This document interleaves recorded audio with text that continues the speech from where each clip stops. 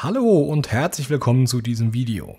Wer meinen Kanal schon eine Weile verfolgt, der weiß, an Schweizer Taschenmessern mangelt es mir nicht. In diesem Video soll es aber gar nicht um meine gesamte Sammlung gehen, sondern es soll um meine Top 5 der Schweizer Messer gehen. Und hier liegen natürlich deutlich mehr als 5 und das liegt daran, dass ich als kleiner Prepper die Modelle, die mir am besten gefallen, äh, mehr als einmal habe. Hier habe ich sogar auch noch ein zweites Outrider. Ähm, habe ich vergessen, die hinzulegen, aber dazu später mehr. Fangen wir mal vorne an und äh, ich starte mal mit dem Messer oder mit dem Taschenmesser, das mir persönlich am allerbesten gefällt, beziehungsweise in meinen Tagesablauf und in meine Arbeit. Ich bin jemand, der häufig am Schreibtisch sitzt, beziehungsweise äh, in Außendienstterminen mit dem Auto unterwegs ist. Das heißt, das Thema, ähm, ich muss permanent eine Säge dabei haben, weil ich im Wald oder draußen ähm, arbeite, ähm, das ist bei mir nicht der Fall. Und ähm, ja, deswegen ist das Top Messer, Top-Taschenmesser für mich persönlich das Kompakt. Ich habe dazu schon ein eigenes Video gemacht. Ich werde euch das auch nochmal unten in der Videobeschreibung verlinken, wie im Übrigen alle von diesen Taschenmessern. Ich verlinke euch die alle mal in der Videobeschreibung unten. Und das Kompakt habe ich genau dreimal. Einmal in schwarz, dann nochmal in rot und nochmal in schwarz. Ähm, und das liebe ich wirklich über alles. Und ähm, das ist auch mein Everyday Carry Knife. Das habe ich also immer in meiner Hosentasche, egal wo ich hin hingehe, weil da für meinen Geschmack die nützlichsten Tools einfach mit dran sind. Natürlich ähm, die große Klinge, dann gibt es hier so ein Kombi-Tool. Das ist ähm, Flaschenöffner und Dosenöffner und ähm, Kabelabisolierer und Schraubendreher in einem. Wir werden gleich beim ähm, Super Tinker und auch bei den Kleinbar-Modellen sehen, dass es da ein bisschen anders gelöst ist. Ähm, und dann ist noch genau ein Werkzeug dabei, das meiner Ansicht nach bei keinem Schweizer Messer fehlen darf. Und das ist eben die Schere, die ich persönlich sehr, sehr häufig verwende. Und das Schöne daran ist, hier ist ein, also das sind die sogenannten Plus-Griffschalen. Das heißt, hier auf der einen Seite ist eine ähm, eine Pinzette drin und auf der anderen Seite dann neben dem klassischen Zahnstocher auch noch ein Kugelschreiber. Na komm, da ist der Kugelschreiber, der im Übrigen auch sehr gut funktioniert. Den kann man auch hinten, da ist nämlich dieser Pakethaken mit auf der Rückseite eingelassen einer Nagelfeile dran. Sehr, sehr sinnvoll, wie ich finde. Da kann man auch diesen Kugelschreiber ähm, entsprechend reinlegen und kann dann den Pakethaken runterklappen und hat dann sozusagen eine Griffverlängerung zum Schreiben. Also so kann man da mit dem Kugelschreiber arbeiten und schreiben und das funktioniert auch sehr, sehr gut. Und auch diese kleine Nagelfeile Pfeil hinten drauf ist gar nicht so schlecht. Also ich persönlich mag das wirklich sehr. Und dann eben Korkenzieher, der kleine Brillenschraubendreher. ich glaube, die meisten verwenden den, um die Schräubchen an der Brille wieder festzuziehen und dann äh, hier noch die kleine Stecknadel drin. Also da ist wirklich so ziemlich alles dran, was ich häufig brauche. Jedes dieser Werkzeuge verwende ich daran häufig. Es ist super schmal und super flach. Viele haben sich wahrscheinlich schon gefragt, hey, warum ist denn da gar kein Alex-Modell zu sehen? Also diese ähm, ne, Alox-Modelle, die es in verschiedenen Farben gibt. Ähm, ja, erzähle ich gleich noch ein bisschen was zu, warum das nicht der Fall ist, aber vielleicht, um es äh, kurz vorwegzunehmen, ich finde ganz einfach diese Tools, die in den Griffschalen drin sind, so immens wichtig für mich und die gibt es einfach bei den Alox-Modellen nicht, weil da ist eben nur ne, dieser die Griffschalen, aber ohne die Öffnungen für ähm, die Werkzeuge hier. Ähm, und damit das fehlt, hat es auch kein Alox in meiner Top 5 Sammlung geschafft. Ich verwende natürlich häufig, ähm, habe ich trotzdem ein Alox-Modell dabei, aber wenn ich wirklich Top 5 meiner Sammlung mal auswählen müsste, dann ist es das hier und da gehört für mich persönlich dann aus den gerade genannten Gründen eben kein Alox-Modell mit rein. Also das hier mein Victorinox Kompakt, ganz klar mit großem Abstand Nummer 1, das begleitet mich jeden Tag. Und hier zwei Backup-Modelle, das gab es mal irgendwie aus einem Amazon Warehouse-Deal, also ganz, ganz preiswert, ist aber nichts dran, sieht aus wie neu. Und das, ich weiß gar nicht, wo das zweite Kompakt mal her war, auch irgendwo günstig äh, mal geschossen gehabt. Und ähm, ja, ihr seht es auch hier an den Griffschalen, das ist schon ordentlich verschrammt und Kratzer drin, ist mir aber vollkommen egal. Dieses Messer hier definitiv mein Platz 1.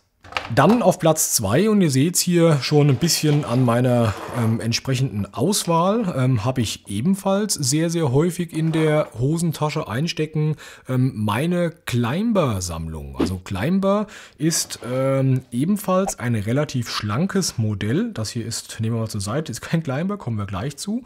Ich halte es immer mal daneben, damit ihr das mal sehen könnt. Vergleich Climber zu Kompakt. Da ist also von der Größe nochmal ein deutlicher Unterschied dazwischen. Und jetzt wisst ihr auch, warum ich gerne das Kompakt mitnehme an erster Stelle. Und äh, das Climber zwar auch häufig, aber eben häufiger das Kompakt, weil man diese zusätzliche Dicke doch nochmal spürt in der Hosentasche. Der Vorteil von dem Climber gegenüber dem Kompakt ist aber die Tatsache, dass ihr zwei ähm, einzelne Tools habt, also hier ähm, eben zum Flaschenöffnen, Kabel abisolieren, Schraubendreher und hier den Dosenöffner mit kleinem Schraubendreher. Ähm, hingegen hier bei dem Kompakt dieses Kombi-Tool, hier seht ihr es nochmal, ähm, ja, das ist hier zwar, also mir reicht es vollkommen aus, ich brauche äh, nicht zwei einzelne Tools dafür, gerade weil ich einfach selten bis kaum bis gar gar nicht ähm, damit auch Dosen öffne. Ähm, aber ja, das ist der Vorteil bei dem Messer hier. Und ansonsten ist es äh, von der Bestückung her große Klinge. Ne? Kleine Klinge ist hier noch mit dran. Das hat es kompakt eben auch nicht. Da ist nur eine Klinge kann ich auch mit leben, um ehrlich zu sein. Und dann wieder die Schere. Und auf der Rückseite gibt es hier noch ein paar mehr Tools, Pakethaken, da allerdings ohne ähm, die Nagelfeile. Das finde ich hier sehr, sehr schön gelöst. Und dann hier noch so eine äh, Nähbohr-Stechahle hinten dran, die gibt es hier auch nicht. Ähm, ja, aber vermisse ich jetzt im Alltag gar nicht wirklich. Und dann hier die Standardschalen dran mit Zahnstocher und mit äh, Pinzette. Und das Schöne an diesen Climber-Modellen ist, dass es die in ganz vielen verschiedenen Fahrt, Farben, Varianten und Arten gibt. Ähm, also hier seht ihr es, das ist ein wunderschönes Gold. Ich verlinke euch mal die verschiedenen Modelle unten in der Videobeschreibung, ähm, soweit ich die einzelnen Modelle finde, weil das hier zum Beispiel ist so eine Sonderedition, die gibt es gar nicht ohne weiteres zu kaufen, aber ich gebe mein Bestes, also schaut mal unten rein. Das hier also die goldene Variante finde ich ausgesprochen schön. Ähm, dieses Gold gefällt mir wirklich extrem gut. Ähm, ja, das war auch mal so eine Sonderedition. Da war, glaube ich, ja noch so ein Schlüsselband dabei. Die war auch gar nicht so preiswert. Ein normales Climber kostet nicht die Welt. Das war ein bisschen teurer. Dann ähm, hier Silvertech heißt es, glaube ich, diese Farbe. Also hier transparent und unten drunter schimmert eben dieses Silberne raus. Finde ich super schick, super schön. Also das sind fast meine ähm, drei Lieblingsmodelle hier in Kombination mit dem Weiß. Also hier vielleicht nochmal Vergleich. Weiß zu Silvertech in der Kamera. Ich weiß nicht, ob man es gut sieht. Ich mache es mal minimal dunkler für euch. Hier Weiß, hier Silvertech, finde ich, die haben auf jeden Fall beide was. Dann hier eine 125 Jahre Sonderedition. Ja, das war so ein Sondermesser mit hier, glaube ich, auch genau 125 Jahre Victorinox drauf. Und dann gefällt mir ganz besonders gut ähm, das ähm, Stay Glow, heißt es, glaube ich, weil diese Schalen hier, ähm, die nehmen ähm, das Licht auf und äh, wenn es dunkel wird, ähm, dann leuchtet es. Also ein ganz normales Climber, ähm, das über diese schönen Griffschalen hier verfügt, finde ich natürlich super, super, super schick. Bekommt man neu, aber ganz, ganz schwierig. Ich glaube, das hatte ich irgendwann mal bei eBay gekauft. Alle anderen Messer im Übrigen bei Amazon. Ähm, ja, wie gesagt, Links dazu in der Videobeschreibung. Also Climber für mich persönlich auf der Rückseite eben mit dem ähm, Flaschenöffner, beziehungsweise ist inkorrekt, es ist ein Korkenzieher, also auch Flaschenöffner, aber für Weinflaschen. Ähm, ja, ist, ähm, ich trinke auch gerne mal einen Wein, von daher ist das hier ähm, für mich eine super Lösung. Ähm, jetzt ist es aber so, dass ich ähm, oft oder ab und an auch den äh, Korkenzieher tausche gegen einen großen Schraubendreher, Kreuzschlitzschraubendreher. Hier seht ihr den.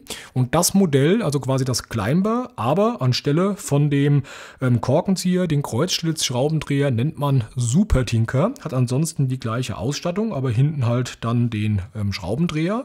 Ähm, für sehr viele ist es ähm, eine super Sache, weil viele den Korkenzieher nicht mögen, aber den Schraubendreher gerne hätten. Muss einfach jeder selbst wissen. Heißt wie gesagt Super Tinker. Hier habe ich dann irgendwann aber auch mal diese Plusgriffschalen vom Kompakt. Die kann man auch einzeln kaufen, drauf montiert, um ganz einfach ähm, das zusätzliche Werkzeug ähm, hier den ähm, Kugelschreiber noch mitzuhaben. Das geht im Übrigen natürlich die Ummontage auch bei einem Kleinbett zum Beispiel. Auch da könnte ich die Blusgriffschalen drauf machen, aber mir gefällt das Gold und die Spezialfarben hier alle so gut, dass ich es tunlichst vermeide, das äh, zu tauschen, nur wegen dem Kugelschreiber. Aber prinzipiell möglich wäre das natürlich. Ähm, ja, also das ist das Super Tinker. Super schickes Modell, mag ich hier in der Kombination wirklich sehr, sehr gerne. Dann, wenn es etwas größer werden soll oder werden darf, ähm, das bessere Swiss Champ, so habe ich glaube ich mal ein Video genannt. Ich persönlich habe dieses Taschenmesser hier ähm, bei all meinen ähm, beruflichen Terminen, wenn ich unterwegs bin, in der Notebook-Tasche dabei. Das ist das Cyber Tool. Ich glaube, mittlerweile heißen die S, M und L oder sowas in der Richtung. Ich verlinke euch das alles mal in der Videobeschreibung. Das hier ist die mittlere Variante, also quasi, ähm, ja, hier ist quasi für mich persönlich alles Wichtige mit dran. Einmal die hervorragende kleine Zange. Dann hier die Möglichkeit, ähm, einen richtigen Schraubendreher mit Wechselbits zu haben, die auch direkt im Messer drin sind. Ich stelle euch das jetzt hier nicht im Detail vor, weil, wie gesagt, ich habe da schon ein eigenes Review zu gemacht. Aber für mich persönlich ist die Auswahl an Tools besser als bei dem Swiss Champ. Ich glaube, da ist fast alles genauso mit dran, bis auf die Lupe, die nicht schlecht ist, aber die Frage, ob ich die wirklich brauche. Auf jeden Fall in dieser Größe des ähm, Cyber-Tools. Und ähm, ja, hervorragendes Messer. Und da ich häufiger auch mal irgendwo in Serverräumen irgendwelche Geräte raus und reinschrauben muss, ähm, ist es hier gerade mit dieser Bit-Auswahl eine ganz hervorragende Angelegenheit. Und auch da hatte ich irgendwann mal das Glück und konnte mir das ähm, Cyber-Tool in der 125 Jahre Spezialedition kaufen. Gefällt mir persönlich sehr gut. Das hier ist jetzt die Variante mit so transparent roten Griffschalen, aber auch das gefällt mir sehr, sehr gut. Also das ähm, eine super Sache. Da das Messer aber doch relativ groß und schwer ist, nutze ich hiermit, wenn ich es mal in der Hosentasche trage und nicht in der Notebook-Tasche, einen ähm, Suspension Clip. Auch dazu habe ich mal ein Video gemacht. Ähm, ich packe euch das alles in die Videobeschreibung unten rein. Und ähm, damit kann man das wunderbar in die Hosentasche hängen und dann trägt es kaum auf und man merkt selbst an solch großes Messer ähm, kaum in der Hosentasche, ähm, weil normalerweise legt sich das hier unten quer rein. Ähm, und das vermeidet ihr, indem ihr das einfach oben an die Hosentasche dran klipst mit diesem äh, Clip hier von außen. Und ähm, ja, sieht aus wie so ein Kugelschreiber dann außen und innen drin in der Hosentasche hängt das Messer. Ist also eine super Kombination, kann ich euch grundlegend für all diese Victorinox Taschenmesser nur empfehlen.